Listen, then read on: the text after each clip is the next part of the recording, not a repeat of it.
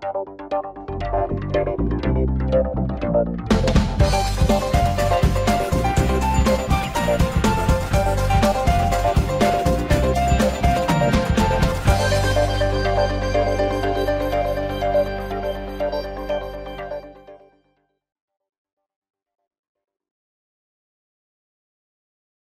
Hey traders, it's John Fortune here with this week's weekly Forex forecast for the 22nd to the 26th of May 2017. Starting with the US dollar index and oil, we're going to run through a number of currency pairs, looking at key levels of support and resistance in the process. So without further ado, let's jump over to the charts and see where the money is this week. US dollar index. US dollar index did bounce off of the top of this channel uh, about two weeks ago, and we did say last week we were looking for price to trade down to this upward sloping trend line here uh, marked by this blue ellipse. It did trade into this area, and in fact, it did push a little bit lower. We're sitting now uh, outside of this upward sloping trend line, so I do now expect price to trade down next week into the 12149 area of support down here, which we've had marked for uh, a few weeks now. We may see a pullback first, uh, whether it will be minor or maybe even higher up to this broken trend line here uh, before heading down. We could see that pullback first. However, uh, I am looking for this now to trade into the 12149 area. And as a result, I do have a bearish bias going into next week.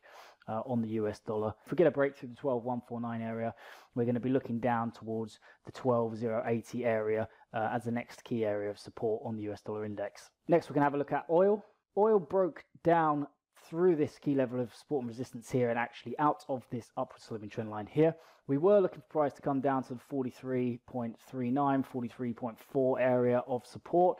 Uh, it did in fact stop just short of that. In fact, you can see it came down to the $44 a barrel area before bouncing up uh, quite significantly. It did come back and retest this. You can see there was a couple of days of retesting this broken support as it turned to resistance. However, this resistance level failed and it has now pushed through and higher uh, above this resistance level. So I do hold a um, slightly bullish uh, bias for oil next week, and I do think we could be seeing a pullback into this area down here, perhaps maybe a retest of this broken resistance becoming support, and we could be seeing moves up to the 51, 52, and then um, the top of this wedge pattern up here. So on oil, I am going to have a uh, bullish to neutral bias on it, uh, but I am expecting maybe a pullback and then a push higher in oil next week. Euro US dollar. Euro US dollar broke out of this major downward sloping trend line here. Uh, we did because of our uh, bias on the US dollar index last week. Uh, although it was sitting in here, we did think that this could push out and break out of here. Uh, and if when it did that, we were looking for the 1.11 area of uh, resistance in the uh, previous weekly forex forecast. It did come into this area, and as you can see, it broke through and it actually came back and tested this area of resistance, which became support and it has now traded up to the 1.1200 area and I do expect this now to continue higher uh, and I'm looking for the 1.1300 area to be the next key area of resistance uh, next week. So I am looking for uh, some moves up into the 1.1300 area on the US uh, Euro US dollar next week. US dollar Japanese yen. US dollar Japanese yen, it broke out of this downward sloping trend line here and we were expecting a pullback and a retest of the 112 area over here. Uh, we did think this could act as support as it retested this broken downward sloping trend line, uh, and we are, were looking for, and in fact, uh, possibly still are looking for uh, higher moves up to the 115.8006 area up here. However, what we would need to see uh, before we started looking uh, at this area as the next target is a break back up, probably outside this downward sloping trend line again. So with our, with our bias on the US dollar index uh, next week, we are going to look for potential shorts in the US dollar Japanese yen. And what we could be seeing is we could be seeing a pullback and a retest of the broken 11200 area over here and a pullback into this blue ellipse uh, that was put on there for the last uh, week's weekly forex forecast. And we could be seeing a move from this area down to the roughly the 109 uh, 20 area down here. And as you can see, there's actually a gap over here. So what we're going to be looking for next week, if we do see that US dollar weakness, we are going to be looking to trade US dollar Japanese yen uh, to come and close this gap over here on the 25th, uh, 21st of the 4th. So this is the trade that we could be looking at next week if we get that US dollar uh, weakness as we expect. Pound US dollar. Pound US dollar did finally trade into the 1.30 area up here last week. As you can see, we had this uh, blue ellipse on here because there are two things that this could be. We did have a, rising wedge pattern, and as you can see, uh, this grey upward sloping trend line is the bottom of that rising wedge. So we had another one up here which runs uh, in line with the with the black uh, trend line here. Uh, so this could be a channel, as you can see with the black trend lines, or it could be a rising wedge, as you can see with the grey trend lines forming this kind of uh, squeezing pattern of price. So either way, uh, we were looking for it to trade into this area last week, and it has now done that we would like to see a breakout of this, uh, the top of this channel or the or the rising wedge if it is going to uh, fail. If this rising wedge is going to fail, and we're going to see high moves, and then we're going to be looking at the 1.3100 area. And if we get a break above this 1.3100 area, which is probably going to be the next best place to take longs on this pair, uh, we can be looking up into the 1.3256 area uh, as the next target to the upside. If we see that this is a rising wedge and this rising wedge uh, rejects from the top here. We could be seeing a breakout of both the channel and the rising wedge and we would be looking for the 1.2700 to the downside. But with a bias uh, a bearish bias on the US dollar index next week uh, we could be seeing this push and making new highs. In fact pound would have to be very weak next week. US dollar franc. US dollar franc failed at the top of this wedge, uh, did break out and it held out there for a number of days, but then it came crashing back down capitulated quite hard, as you can see. And we were looking for an in intermediate target here once we got the uh, failure at the top of the wedge. And then we were looking down to the bottom of the wedge here uh, as the next target. It, it, did crash through both of these targets, uh, and it is now um, motoring to the downside. I would like to see a pullback in the US dollar franc, uh, maybe even a retest of this broken uh, wedge bottom here. Uh, for that, we would need to see a, a retracement and a, in the US dollar index as well to the upside. Uh, and then once we get that, I do see the 0.9700 area being the next uh, key area, uh, psychological level. But then beyond that, I'm looking at the 0.9650 area down here. So I do think we could be seeing a bounce at the 0.9700 area here. So keep this psychological area in mind, even though I haven't got it highlighted here, keep this psychological area in mind, 0.9700. And then if we do break through this area and we get some consolidation, maybe down here, we're going to be looking for a trade to the 9650 area down here on the US dollar franc. Just bear in mind, this is quite a strong sell-off, uh, so we could see some profit taken and we could see this done to move to the upside, maybe even retesting the bottom of this broken wedge. Aussie US dollar, Aussie US dollar is in this down channel here, uh, and we were looking last week. Uh, we we got a bounce from the 0.7350 area uh, that was highlighted. Is also the bottom of the channel here, and we did expect to see a pullback to the potential pullback to the 0.7450 area up here, which we highlighted from last week's uh, weekly forecast. We did get that pullback. In fact, it did take all week pulling back into that area. So we are looking for potential, just based on the technicals here, for a move down even further and a test of the 0.7300 area in the bottom of the channel down here. However, we are seeing uh, potential US dollar weakness. So if we do get US dollar weakness, uh, this pair could remain choppy um, if the US dollar is weak. We would like to see some retracement in the US dollar index uh, to really uh, push this maybe to the downside for a, a, double bottom retest or move down to 0.7300. So Technically, is setting up to make lower lows. However, the only fly in the ointment is uh, we could be seeing a weak US dollar next week. US dollar CAD. US dollar CAD was forming this kind of rising wedge pattern over here, uh, and as a result, we did expect to see uh, maybe a correction in this pair. Highlighted in last week's weekly forex forecast, we were looking for the 1.3600 area, and we actually took a nice trade into this uh, last week. As you can see, the 1.36 area did try to hold a support, but in fact failed uh, late last week.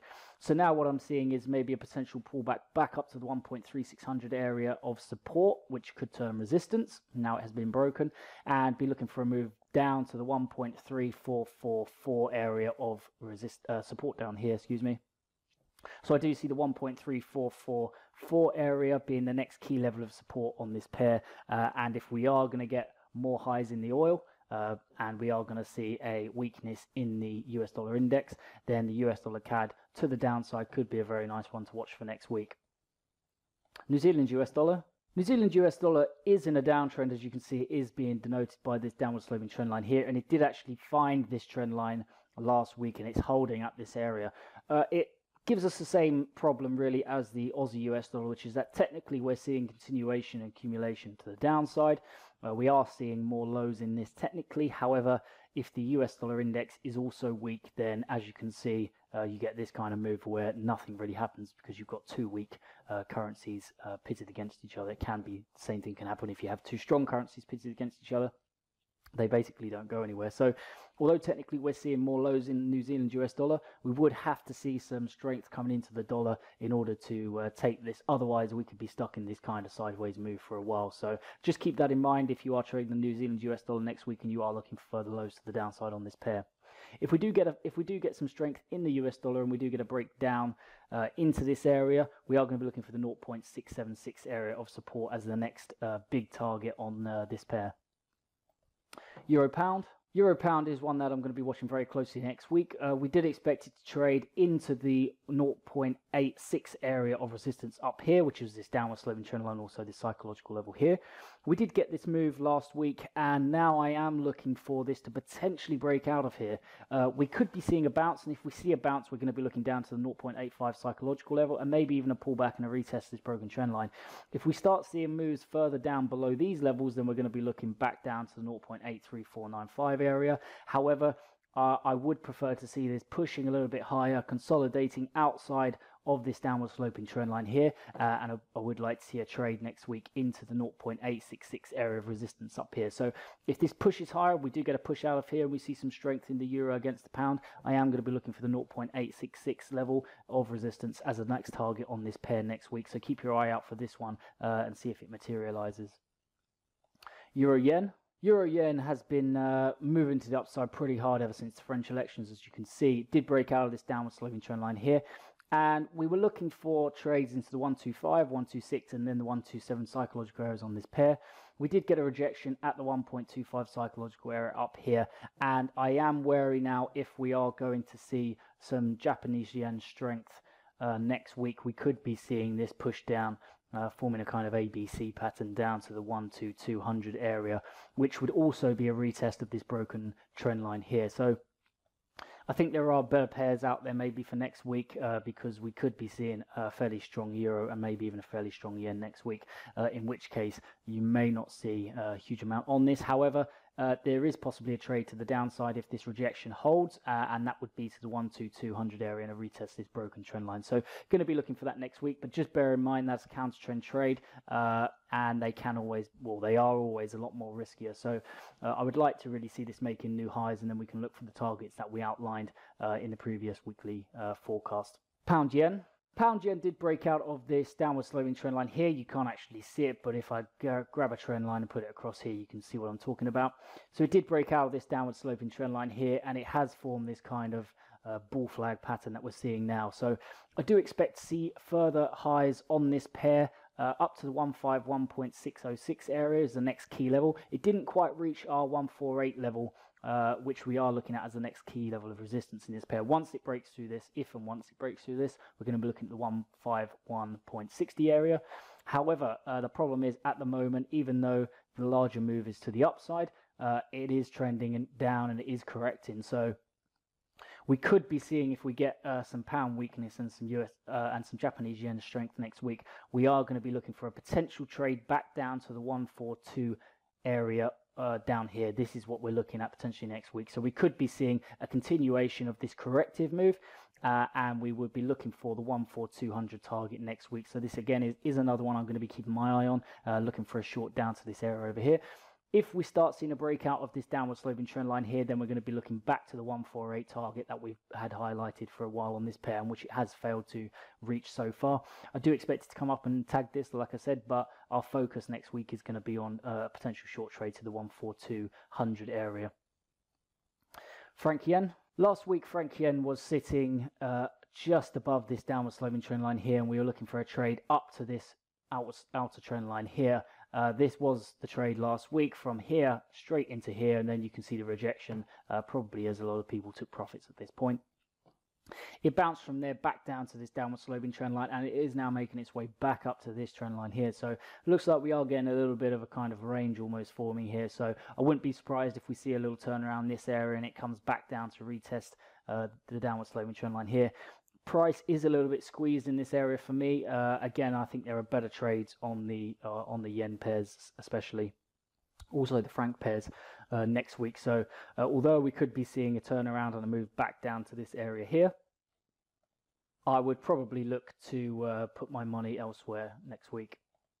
Pound franc. Pound franc broke through the 1.289 area of resistance over here, and then as you can see, it it was it was marching uh, right up to the 1.313 area up here, and then we got a pretty big turnaround, uh, and it actually came all the way back down through this key level of uh, resistance here, which was we were looking at potentially turning to support, but it just went straight through it, and it also went through this downwards, uh, this upward sloping trend line here. So, so we are seeing it sitting at this major downward sloping trend line here,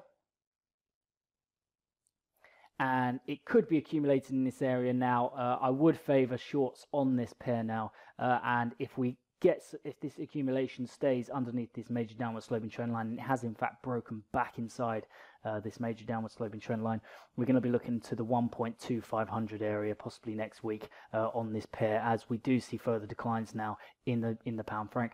If we get a bounce here then we could be seeing a kind of head and shoulders pattern maybe forming on the pound franc uh, and a bounce here we would be looking up to the 1.2895 area of resistance to come back and test this uh, as it failed to hold support here. Uh, are looking at potential head and shoulders here, uh, and it comes back and tests this uh, failed support as it turns resistance. So either way on this one, we could be looking at uh, some nice moves. So we're going to keep our eye on the pound franc next week. Euro Australian dollar. Euro Oz broke through the 1.485 area of resistance, and I did say uh, that I was looking for it to do a similar thing over here as it did over here, which is that again you can't see the resistance here because um, we did have a resistance level here if you go back, I think two weeks ago, and it was sitting under here. So I said I expect this to sit underneath this resistance area, just as this was sitting underneath the resistance area that we'd highlighted. Uh, pull back a little bit, accumulate, and then break through and make new highs. And that is exactly what happened on this pair. Traded into the 1.500 area here, and now I do expect this to uh, proceed and carry on this uptrend that it's clearly in uh, and make its way up to the 1.5173 area of resistance up here. We could see a little pullback and a retest of the 1.4857 area here uh, as this broken resistance turns support. Uh, but either way, uh, whether we get the pullback or whether it goes from here, I am looking at the 1.517 area as the next key target on this pair to the upside. EuroCAD. EuroCAD broke above the 1.5014 area here of resistance. It did break above it here and it pulled back and we were potentially looking for an A, B and then maybe a C back down to test this uh, major downward sloping trend line. However, uh, like I pointed out in the uh, pair that we looked at a minute ago where we had a similar kind of setup with an ABC, counter trend trades are risky and the C wave never came and in fact this carried on going up. Um, we are now looking for the one point five. Oh two six eight area of resistance in this pair. So you can see it's continuing this uptrend that it's in, very similar to the Euro Oz.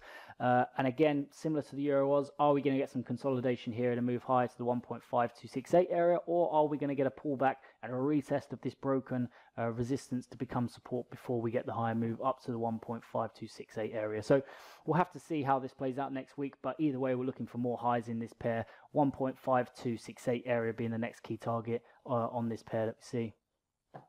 Aussie CAD. Aussie CAD is in this big kind of wedge formation, as you can see. You've got this upward sloping channel here and this downward sloping channel here. Sold off pretty hard when it tested the top of this major wedge uh, and it broke down through these levels here. It did come down and test the bottom of the wedge here and it has did pull up into this area. We were looking maybe for a retest down to the 1.005 area last week, maybe in this area, and a retest of this upward sloping trend line. However, uh, whether it pulled back into this area or kind of continued from this area, uh, I am looking now for the 1.0200 area next week. So it could pull down a little bit further, testing the 1.0050 area first and a retest of this upward sloping trend line here. But either way, I am going to be looking for a potential move to the upside on this to the 1.0200 area up here. The only fly in the ointment, again, with the Aussie CAD is that uh, Aussie is looking fairly weak across the board and oil is looking pretty strong at the moment, which goes in the complete opposite way uh, to the technicals that we're seeing here. So if the oil continues to push to the upside and the Australian uh, continues to be weak, then in fact what we could be seeing is a breakout of this wedge. Uh, and in which case, if we do get a breakout of this uh, major wedge and this uh, upward sloping trend line here, we're looking for some accumulation in this area and then a trade potentially down to the 0.99 area, which is the next key area of support we see on this. So one to be a little bit careful of. We are looking for the 1. 0 to 100 area uh, resistance next week. However, with with oil and Aussie as it is right now, that that would have to change. Um, and as it's sitting right now, I mean, we're we're probably more likely to see uh, a move and a breakout of this. So it's okay to have an expectation like we do on this pair based on the technicals, but we have to keep other things in mind. CAD yen. CAD yen is in an overall downtrend, and we were just seeing this here as a deeper correction of the overall move to the downside. In fact, it is in an overall uptrend here, and this is just a big correction. So when I say it's in a downtrend, I mean it's in a downtrend of this corrective move. We are potentially expecting to see higher moves on this at some point because of the big uh, move up that we're having over here. However, uh, we can only trade uh, what we're seeing at the moment, and what we're seeing is a continuation of this downtrend here. We are looking and we have been looking for the 80, 80.00 level uh, as the next target to the downside on this pair. If we get some Japanese yen strength next week, you can see it has broken out and it's kind of pulled back. So it's a little bit unclear whether this is actually going to maintain above this trend line, in which case we could be looking up to the 84, 85 psychological levels on this pair.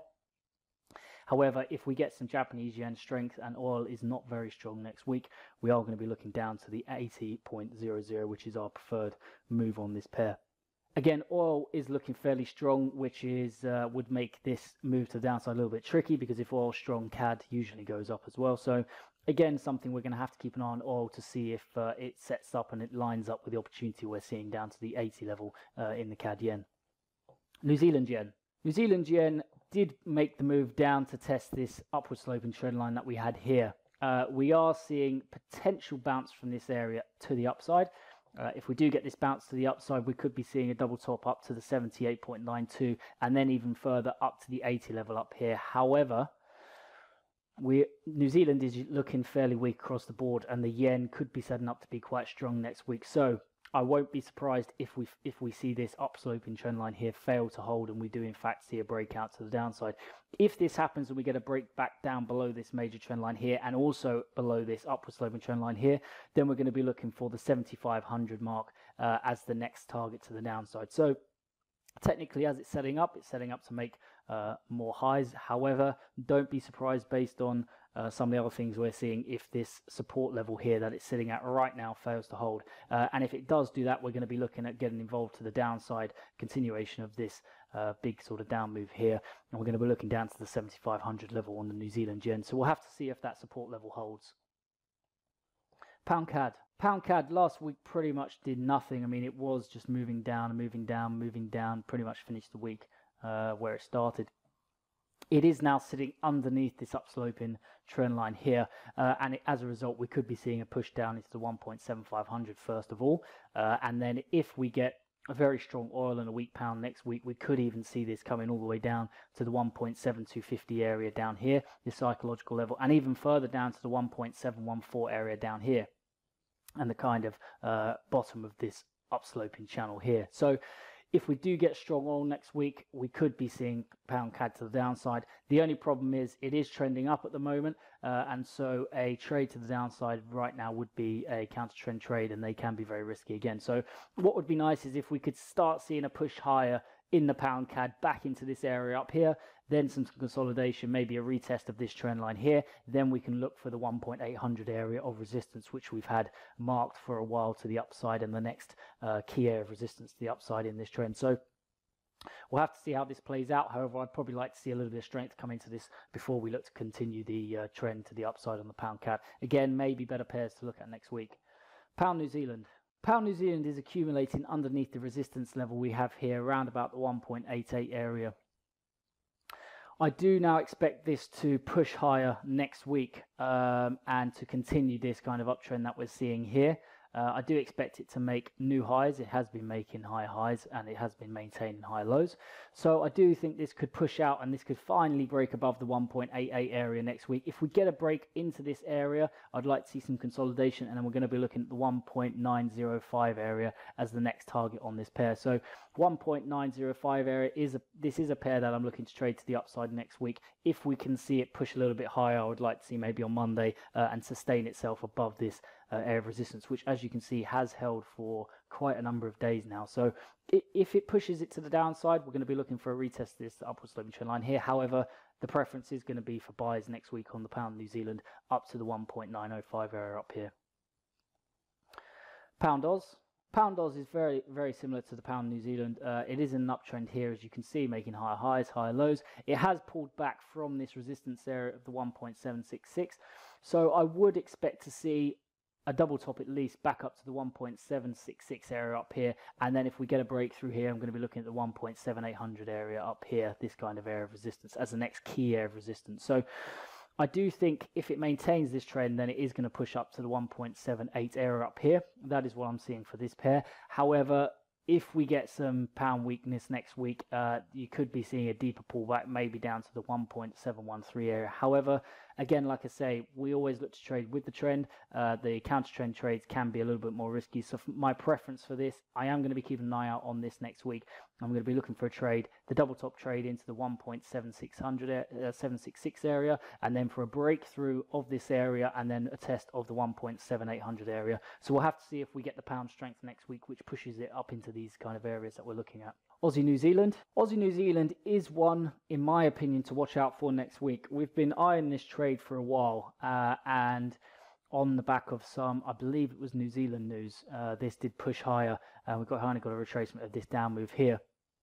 I am expecting a trade down to the 1.0600 area. So this is what I'm looking for next week. As you can see, we kind of got this little ABC move, a kind of corrective pattern, uh, and now we're just, we got this kind of pin candle here uh, from last Friday.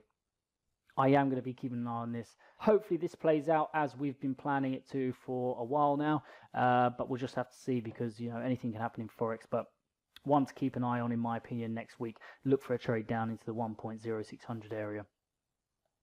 Aussie franc. Aussie franc again is another pair that I'm looking at very closely next week. I do see this trading down into the 0.7200 area, so I do see a little bit of weakness in the Oz next week. I'm going to be looking to take advantage of this move that broke down out of this major upward sloping trend line. It has in fact started to make new lows as well. Uh, you can see this is now clearly in a downtrend. Uh, we were looking maybe if we got a bounce in this area uh, we were looking back up to the top of the wedge up here, but as you can see, it just continued this trend and it is pushing to the downside now. So hopefully what we'll do is we'll see a little bit of uh, resistance maybe from this psychological area coming in on Monday or Tuesday, get a little bit of a correction, give us a chance to get involved with this to the downside at a better price up here, maybe up at the 0.7300 area, and could be looking for a trade next week down into the 0.7200 area. So just a bit like the Aussie New Zealand, Aussie franc is one I'm going to be keeping my eye on very closely next week. Euro New Zealand. Euro New Zealand uh, is continuing the uptrend. Uh, it has traded into the 1.61 area, uh, the psychological area, and it has pushed a little bit higher now up into the 1.62 area that we were looking at for here.